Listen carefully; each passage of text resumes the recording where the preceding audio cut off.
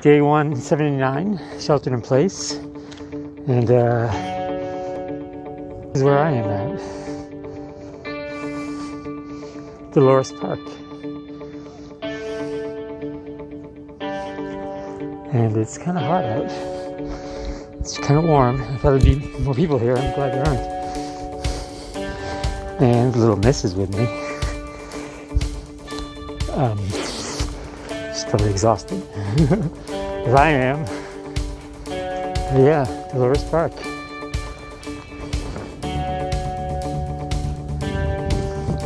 Day 179.